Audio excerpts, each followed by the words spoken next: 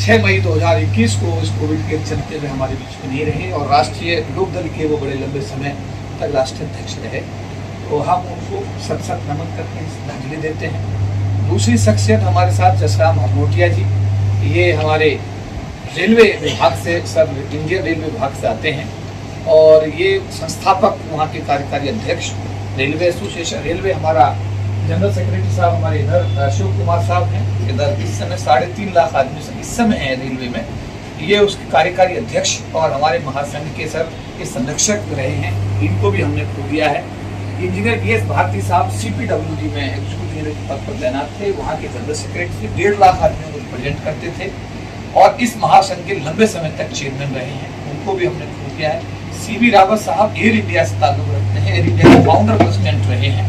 और हमारे महासंघ के राष्ट्रीय कार्य- कार्यालय सचिव थे अभी, उनकी भी डेथ जो है अभी पिछले दिनों हुई है।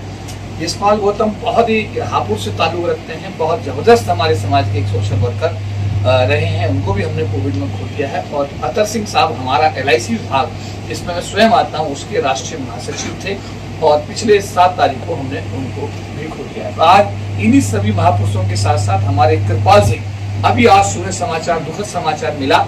कि आज कृपाल सिंह हमारे राष्ट्रीय कोषाध्यक्ष हैं, पूरे संगठन के, पूरा एलआईसी परिवार के। आज सुबह मॉर्निंग में इनको भी हमने खो दिया है, इनका भी आज निधन हो गया है। तो आज की जो सभा है, इन सभी महान विभूतियों को हम लोग श्रद्धा सुमन अर्पित करने के लिए इकट्ठा हुए हैं। आज एक देखने को जो मिला है, यहाँ से मैं शुरू करता हूँ, राष्ट्रीय महासचिव जितने लोग बैठे हैं, अभी आपका सबका परिचय आपके आने से पहले सभी का संबोधन हो चुका है। और ये सभी लोग अपने अपने विभागों के अंदर एक बड़ी शख्सियत है और अपने विभाग के अंदर कई की हज़ार को कई लाखों लोगों को लोग रिप्रेजेंट कर रहे हैं, अपने नेताओं को श्रद्धा सुमन अर्पित करने के लिए आए हैं।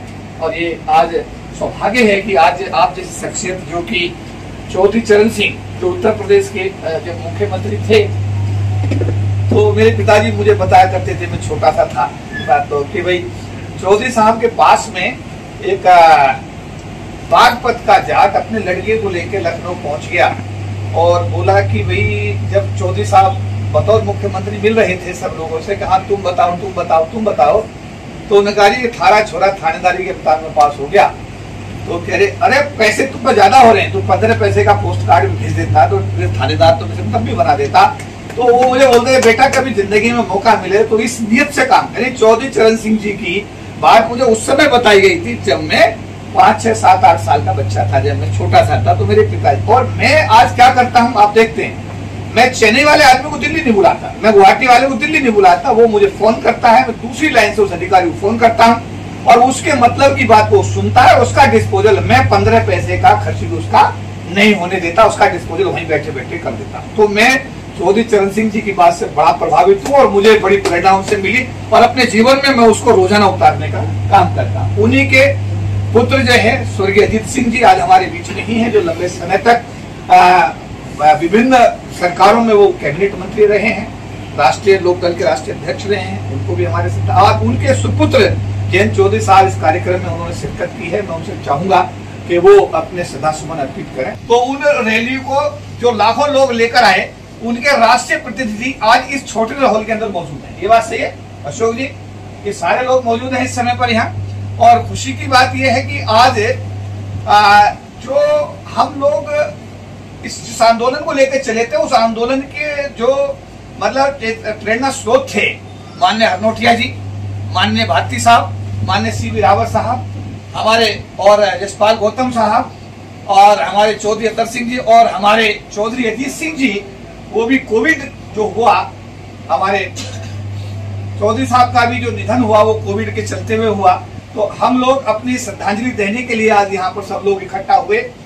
तो मैं सबसे पहले ये चाहूँगा कि जो ये महासंघ 1997 में आप लोगों ने कहीं पर भी, हमारे ये साथी बैठे हैं कमल बांसवाला जी। जा जा करके इन लोगों ने मतलब रसद, हमारे इन्होंने, क्या नाम है, अपने बहुत साहब ने गुड़गावा की सारी बस्तियों में जा जा करके रातों रात सामान बांटा है चौबीस घंटे सामान बांटा है खाने का सामान बांटा है।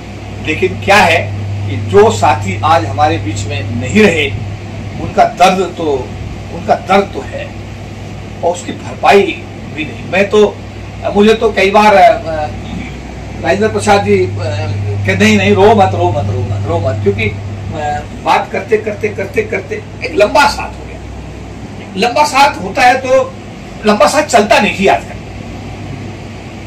आजकल नहीं चलता लंबा साथ। लेकिन लंबा साथ चला।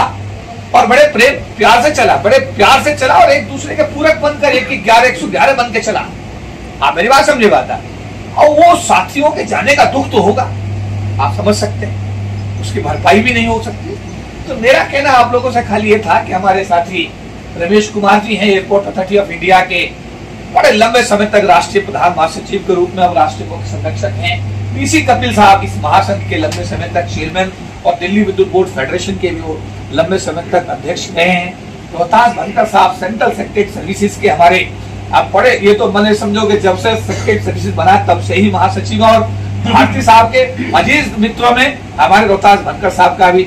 उमेद कुमार भी शायद पीएनबी से आ गए उमेद कुमार उमेद कुमार पीएनबी के राष्ट्रीय प्रधान महासचिव भी हमारे बीच में आ गए हैं। एल परिवार के लोग हैं। जयप्रकाश जी हमारे ये भी भारती साहब के अरे जयप्रकाश जी को बताया नहीं बता हमने कहा जयप्रकाश जी को बता दिया। पर कई नाम उनकी जवान पर होता, धनकर, जयप्रकाश, ऐसे नाम रहते थे। क्यों? कि यार इनको हाँ मैंने हाँ सर, वो भी बात होगी, ठीक है। तो मैं पहले कहूँगा, अपने जयप्रकाश जी से कहूँगा कि ये भारतीय साहब के, इनके अपने भरनोटिया साहब के बड़े नजदीकी थे, बड़ा इनका दिल का रिश्ता था, बल्कि मेरे पास जो मैसेज आ रहा था जयप्रकाश जी का, वो थोड़ा भारती साहब ही आता था नाइन्टी नाइन परसेंट तो मैं जयप्रकाश जी से कहूँगा, जो दिल्ली हेल्थ सर्विसेज़ के राष्ट्रीय महासचिव में बहुत ही सीनियर साथी हैं, कि वो भी अपनी दो शब्द कहें। नेशनल दस्तक की आपसे गुजारिश है कि अगर इसको बचाना चाहते हैं तो नेशनल दस्तक को सब्सक्राइब करने के लिए रेड कलर के सब्सक्राइब बटन को दबाएँ, फिर बेल आइकन की घंटी दबाएँ। नेशनल दस्तक को बचाने के लिए बहुत ज़रूरी है कि हर खबर को शेयर करें, लाइक करें, कमेंट ज़रूर करें।